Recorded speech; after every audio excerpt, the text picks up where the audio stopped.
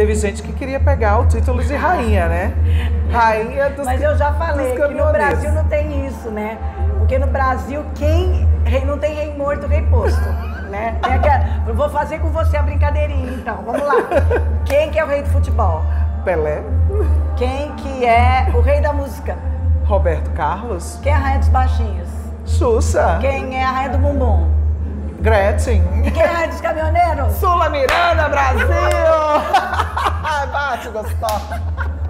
Adoro, não adianta. Pronto, gente, tá respondido. Então tá. No então... Brasil não tem isso não, amiga. Entendi, eu não entendi. Tem rei morto, rei posto. Isso foi uma indireta, né? né? Ela é danada, ela é danada.